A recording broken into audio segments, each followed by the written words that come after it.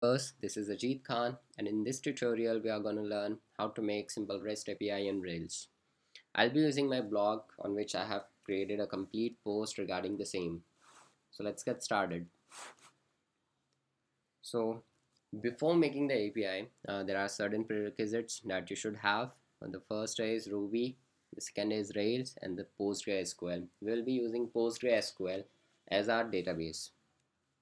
So the command to create new Rails app is Rails new Rails API. Rails API is the name of our app and minus D option is for database and we are, will be using PostgreSQL and we won't be uh, installing all the gems uh, during the making of this app. So uh, let's make the app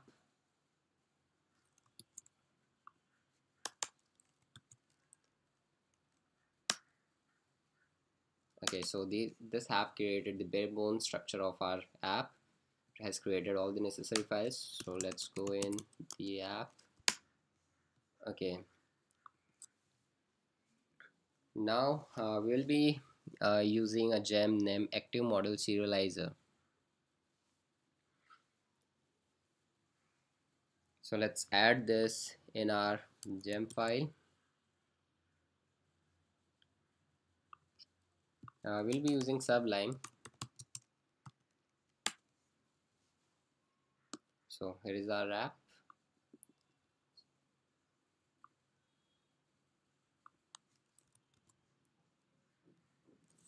We have added the active model serializer gem.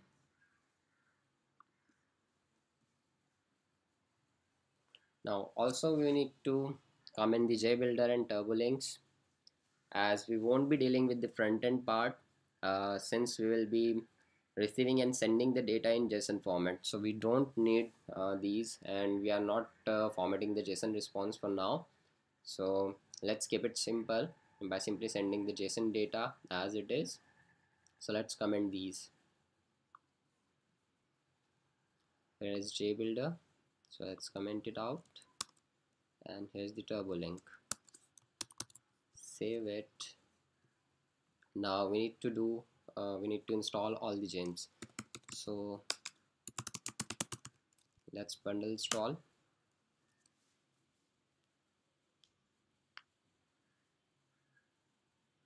So it's installing uh, all the gems.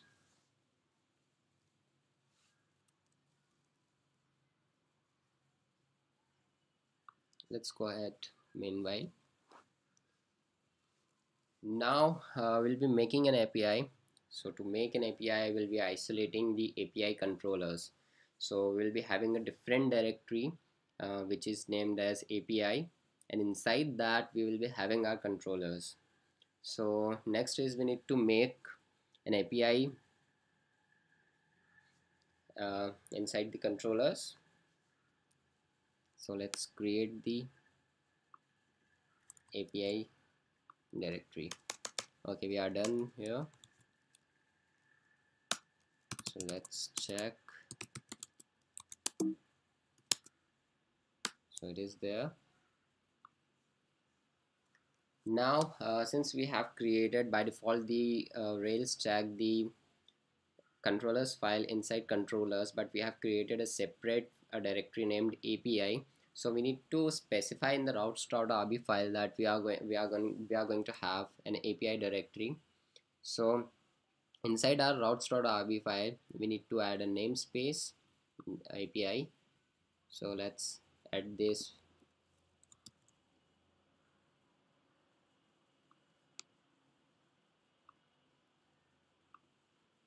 Okay so uh, there are many useful documentation uh, here inside this file so we can clear all this out as we don't need it for now. And let's put our simple code.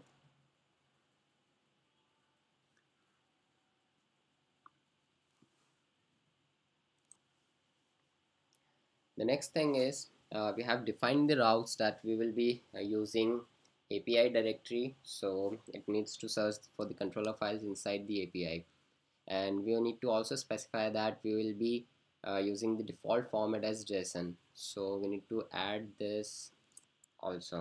So finally uh, our structure would look like this.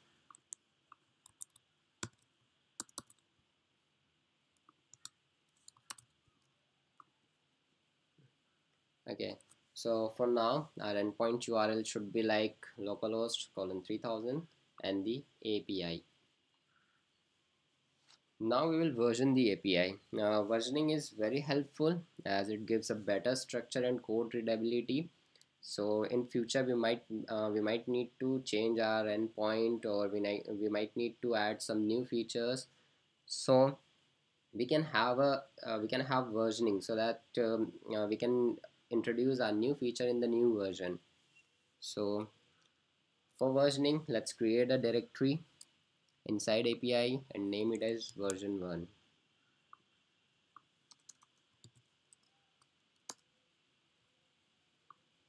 now since we have created another directory inside API so we need to tell our routes file again.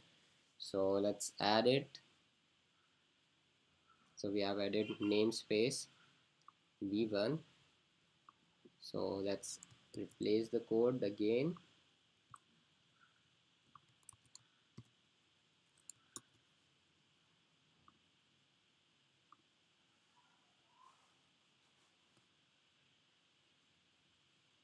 now since we have added another namespace our endpoint should be like localhost colon 3000 api slash v1 slash.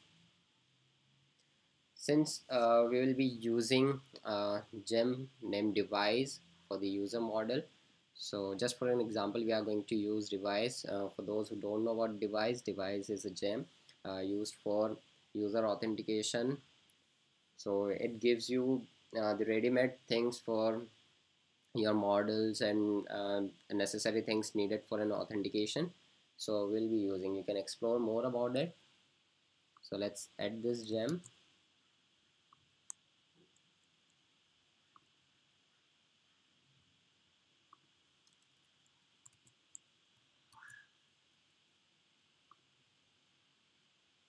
Now since we have added we need to uh, run bundle install so it will install the Devise RAM. And uh, we need to generate let's run this command.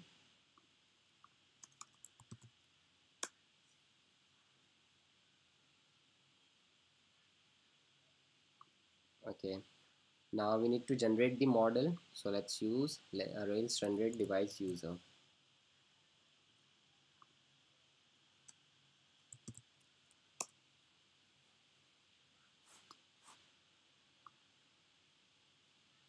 Okay. Now since we have generated so it has uh, created the necessary migrations file so now we need to create our database and migrate the necessary changes. So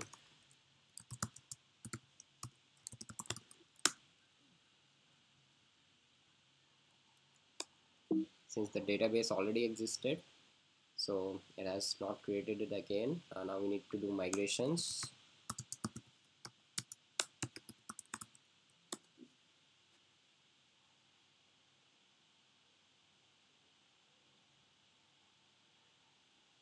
Okay since I have already made this example so uh, this table and uh, all the structure already present in the database so it's not creating it again.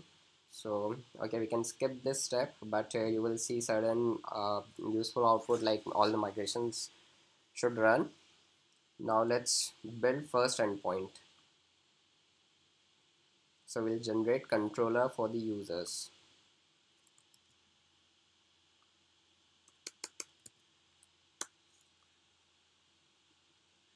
Okay so it has created the users controller but as you can see it has created the controllers inside the controller but we want it inside the inside our API so let's move this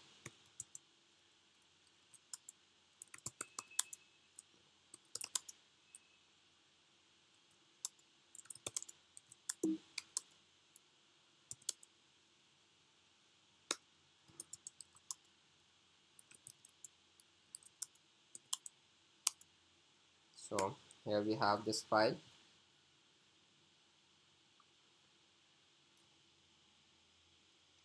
Now and the users controller file RB uh, will be adding a method named show which will find the users with the corresponding ID and it will respond the uh, data. So here we have defined respond to in JSON format. And here you can see we are using the namespace API and v1 and the user controller is inheriting application controller. The important thing here to note is since our uh, namespace API has uh, is API so we need the first letter of this has to be capitalized and same for the version 1 so let's put this code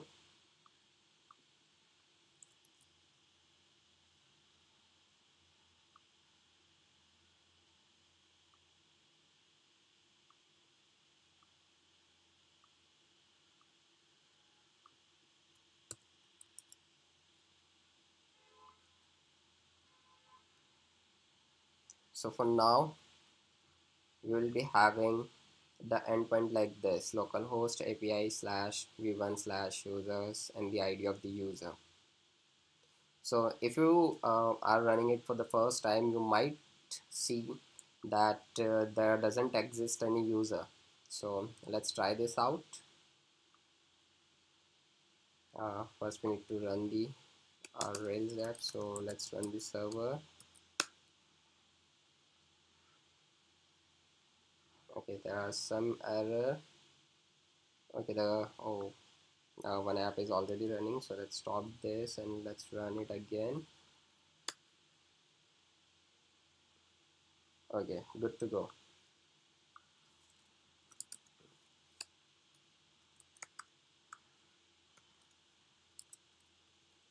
Api slash v1 slash user slash so I have created uh, I have already created three users so you might not see uh, those three users. So let's search for user 44 so as you can see uh, okay it's saying migrations are pending.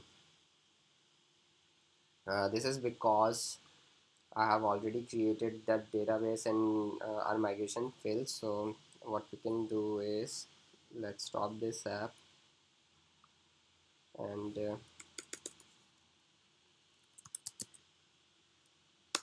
let me run the migrations again and we'll get back to it. Okay.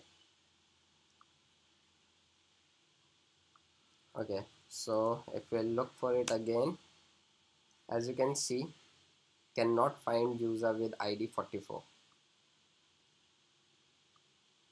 so since the user doesn't exist you might encounter this error. So what you can do is you can open the rails console and you can create a user from the Rails console just to check if our endpoint is working or not. So after creating this and after starting the server, you will get the desired result. Say for example, I have already created the user with ID 1. So let's check it out. Hooray! It has given us the JSON data, the ID 1, the email, and created it and updated it in JSON format. So uh, you can also check it via command line. So you can use the curl command curl and, uh, and the endpoint so you will get the data like this. So this is how to make a basic REST API and uh, we have here used only one method that is show. So um, I'll try to make more screencasts for using more methods like delete destroy create update. Hope you like it